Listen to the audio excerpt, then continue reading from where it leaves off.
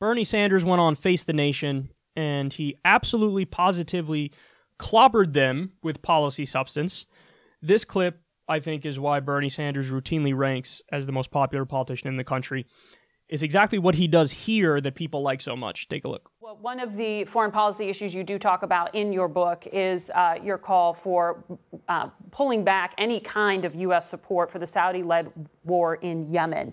Uh, there is a resolution you have backed along with Republican Mike Lee. Do you see, given the scrutiny in the wake of the killing of, of Washington Post journalist Jamal Khashoggi, new support for this bill? I do. Uh, when we brought this up, I think it was in March uh, we ended up with 44 uh, votes, only five Republicans. Uh, I think we now have a chance to get a majority of the United States Senate. Uh, I think people are looking at the horrific humanitarian disaster now taking place in Yemen. There was a recent report that over the last number of years, some 75,000 children have died of starvation. This is a country dealing with cholera, cholera a country dealing with a terrible level of famine. So you got that issue. You got the issue that this war was never authorized by the United States Congress in violation of our Constitution. And you got the Khashoggi uh, incident, which says that we have a Saudi government led by a despotic ruler who killed a political opponent in cold blood. Add that all together. Uh, I think the American people in Congress are now saying, let us end the support our support uh, for the uh, Saudi led war uh, in Yemen. You are calling for Democrats who are now going to be in the majority in the House to launch a kind of new contract uh, with America. And some of the things you put out there, you're saying Democrats should call for raising the minimum wage, make public universities tuition free, expand Social Security, a number of other things. Is this a legislative agenda or a platform for a presidential run for you? It's a legislative agenda, Margaret. You know, it's interesting. You, you pick up on, on what I wrote uh, in a Washington Post op ed, and that is back in 1994, Newt Gingrich, who I disagree with on everything, really had a bold right wing agenda. And I think we should learn from that. This is what the American people want, and we should do it. They want to raise the minimum wage to a living wage, which I think is 15 bucks an hour. They want pay equity for women. Poll after poll shows that the American people understand that our current dysfunctional healthcare system needs fundamental change, and that means Medicare for all, single payer system.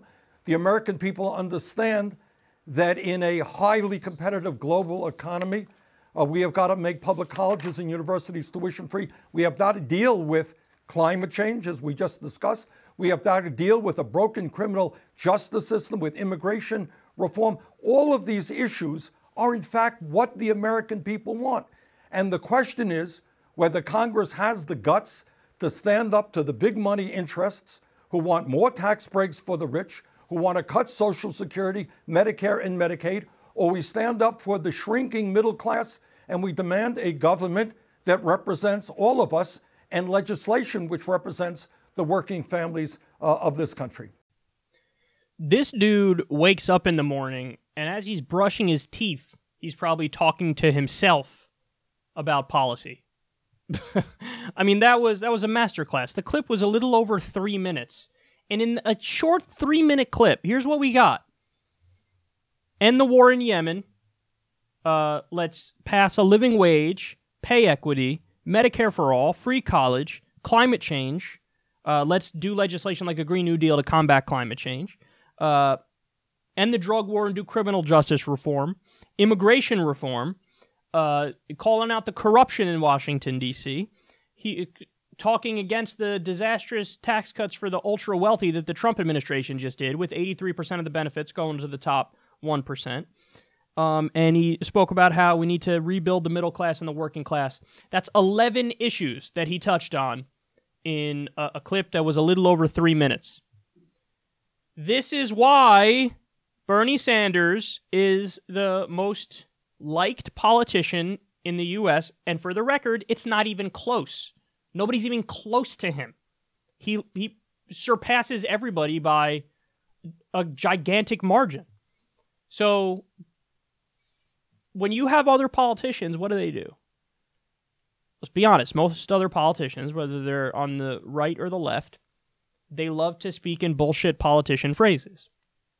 And not to pick on Hillary because, uh, you know, hopefully her day is long dead and gone and she isn't going to run in 2020, although she's apparently an insider says she is going to run in 2020. But when you look at somebody like Hillary, she had a just a a bucket full of platitudes and cliches to throw at you. Stronger together, break down the barriers. Uh, America is already great. She said stuff like that. It's like, what are you saying? What do you actually believe in? Well, I don't have any questions about what Bernie believes in because he says it and he's straight to the point with it. There's no fluff words, there's no flowery nonsense. This is a dude who cares about every single thing he just laid out. And that's why people love him. Listen, there are people way to the left of Bernie that love him. People who are actual socialists. They say, let's, uh, you know, let's um, have the social ownership of the means of production. There are people who believe that, but then they look at Bernie and they're like, I still like him, even though he's a mild social democrat. There are people to Bernie's right who look at him and they go, I like him. You know, because he's a guy who they think, oh, he's being honest, number one. And I definitely think he's going to look out for me and my family and protect our jobs, even if they have some philosophical disagreements with him, whether it be on abortion or, or you know, whatever other issue they might say. I don't like that. Ah, I'm in favor of small government. Bernie wants big government.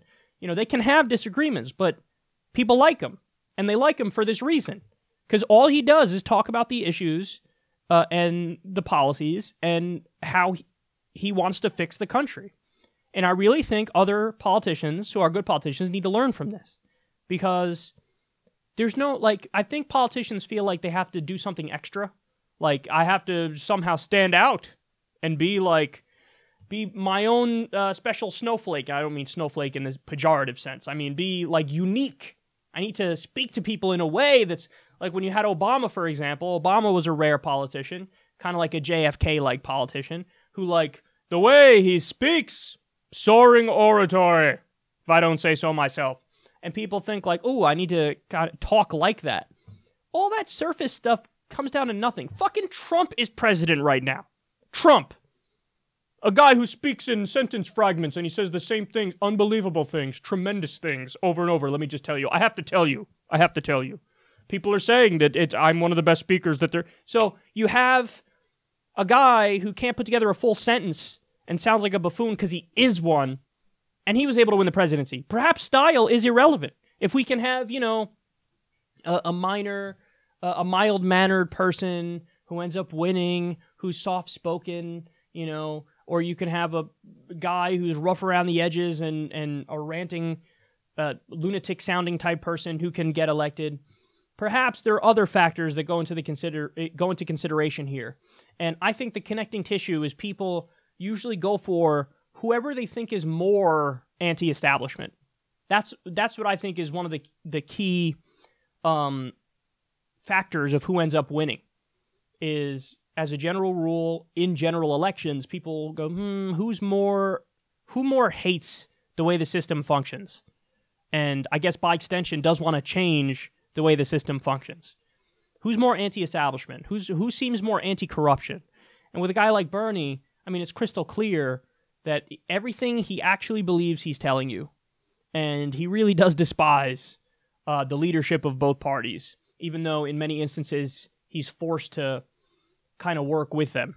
And I think that all of that is tactical and strategic. I do. I don't think Bernie's some sort of rube who's been duped or he sold out or something. No, he realizes the best way for him to impact change on this country is using the giant infrastructure of one of the two major parties. And so you have to basically try to take over one of those two major parties in order to really implement the reforms that he wants. So he recognizes that, and now it, you get the sense it's his day, it's his time. And uh, it's wonderful to see, man. It really is. And hopefully that's our next president. I think he's going to run, and I think he's going to win. So a lot of things can happen, so you can't be too sure about any of this stuff, but um, he's certainly the favorite. And the media is going to throw everything they got at him to try to take him down. The corporate Democrats are going to throw everything they got at him to take him down. But I think that he's going to, he can trump the Democratic Party in the same way that the Republican establishment didn't want Trump and they went to everybody and then eventually he won anyway. They were like, ah, we'll back Jeb. Oh shit, Jeb's the worst politician ever. Uh, Marco, okay, Marco sucks, and that didn't work either. Fine, we'll take Cruz. Even Cruz couldn't do it. Uh, and but Trump ended up winning. On the Democratic side, I think a similar thing's going to happen. The win could be so overwhelming that he just trumps him, kind of curb stomps him, and marches to victory. And um, it would be a lovely day, wouldn't it? So we'll see what happens. But I love this clip. I love this clip because it's it's peak Bernie. he probably went on the show to talk about one issue. He ended up talking about almost every issue. and every word that comes out of his mouth, he's right about. And that says something special.